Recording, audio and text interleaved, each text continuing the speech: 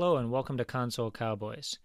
In this video, we're going to take a look at a smart contract and then we're going to write our own code that interacts with that smart contract so that we can exploit it and take all of the money from the contract. We're going to do this with an online IDE environment called Remix. The first thing that we're going to do is open up our browser and we will type in Remix Solidity. When we do that, the first link up top will be our IDE. This is an online IDE that has all of the pieces we need so we don't need to install anything ourselves. By default, we're going to have a ballot.sol, which stands for Solidity. We're going to delete these out of here because these are just examples that we don't need, so delete everything.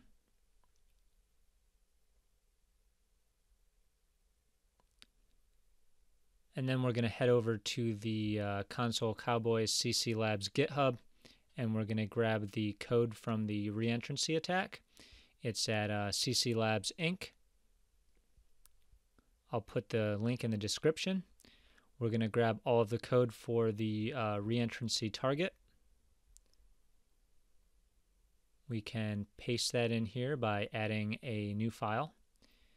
This file needs to be with the extension .sol. We'll name it target.sol.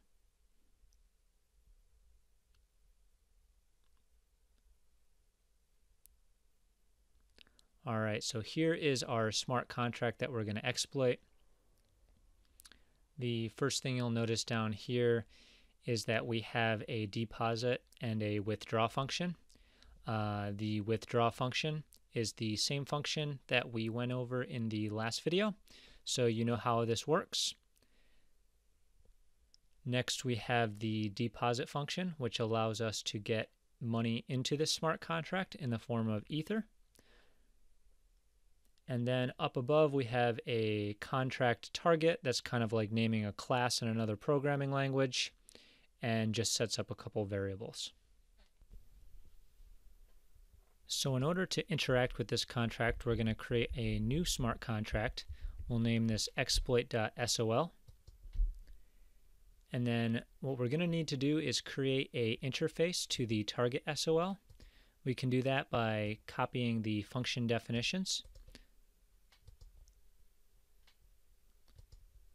So first thing we'll do is put the uh, pragma up top. This is just something that needs to be in the top of every Solidity contract. says what version we're using.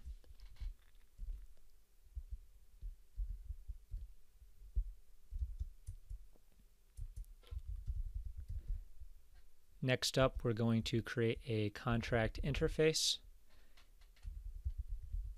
We'll just say this is the target interface since we're interfacing with the target. And then we're going to paste in the function definitions from the target. So here's the deposit. This will allow us to interact with the deposit function. And then we're going to grab the uh, function definition for withdraw and do the same thing with that in the Solidity programming language, we need to end that with a semicolon, kind of like in C++. We don't really have to do that in stuff like Python, but it's required here. So once we get that set up, we're going to uh, start our contract.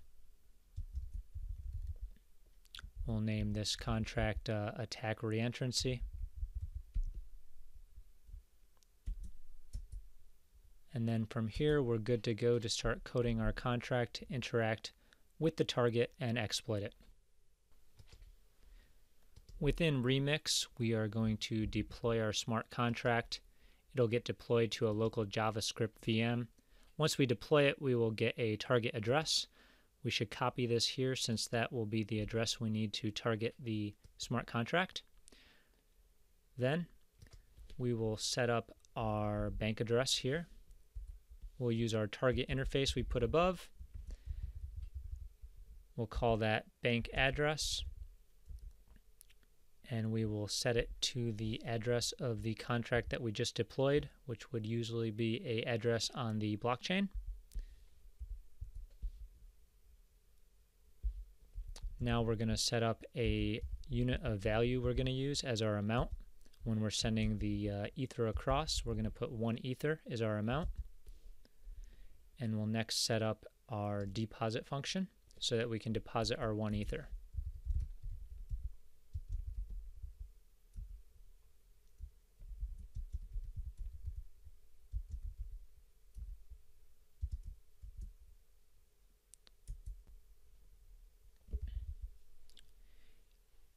Inside of our deposit function, we're going to use our bank address interface we created, and we're going to use the deposit function from the interface. We're going to use the value of the amount that we put above, which is the one ether, and then it's going to need that extra set of parentheses because we are executing that.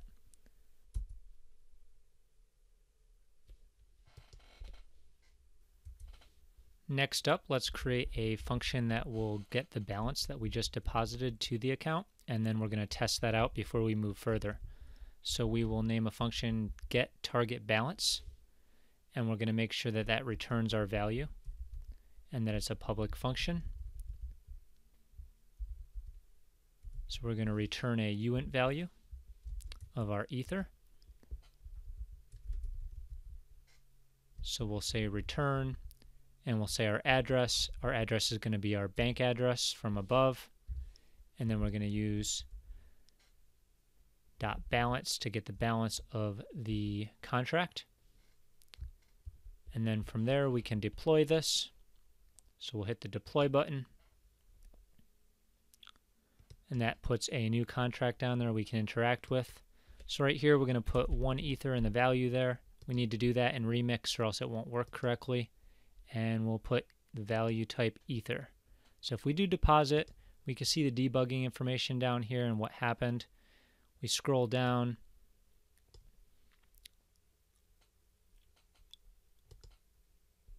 And right there you see the value of one ether. When we did the get balance, we got back one ether. We'll hit the deposit again. We'll hit the get balance again, and we get two Ether. So this is just the balance of the current contract. You'll see that we have a few addresses up here. One has some value taken out that we just used, and the others still have 100 Ether for us to use. Now that you kind of got the idea how this is coded, I'm going to paste in a few functions to speed it up. So the first function is the attack function. All this does is use the bank interface and withdraw the amount. The amount is the one ether above. The next is going to be what we were talking about before, the fallback function. This function will automatically be called when somebody's sending money to us. So we don't even need a name for this function. We're going to mark it payable so we can accept money. And then we're going to say if the bank address's balance is less than the amount that we're asking for, which is one ether, then we're going to call the withdraw function again. And this is going to create our recursive loop. Okay, I'm going to adjust this a little so you can see everything and move up the IDE. I need to add in another bracket down there so we don't get an error and I'm going to paste in one more function. All this function says is if this address has a balance, transfer the balance to this address. So that way we can retrieve our stolen funds after we perform the attack. We're going to delete the old contract, press Control S to save it, and then redeploy and we'll see our new retrieve stolen funds. So what we're going to do is we're going to deposit our amount. So now we have three Ether in the balance of the bank. And we're going to grab one of the other addresses and use the actual um, deposit function on the bank, deposit 20 Ether using that account. So that's a whole nother user's account. We now have 79 on that. We're going to deposit some money with another account that has 100 Ether. And now we have 87 on that one. And you'll see we have 35 Ether total but our original account only has 96. This is our attacker's account. So we'll hit attack. And once we do that, we'll see that it's paused as it's going through its recursive loop. It'll eventually come back. There it goes. And now if we get target balance, the bank is empty. But we don't have our funds up here. So we're going to run our retrieve stolen funds. If we look up there now, we have 131 Ether. We have retrieved our Ether back and taken the other ether from the other accounts. If we had just run the withdraw function normally, we'd only be able to retrieve our initial 3 ether that we took out, but because we ran this attack and never updated our balance, we are able to steal everybody else's money as well, And now, if they went to take their money out, they would be unable as there's no more money in that contract or that bank. I hope that makes sense.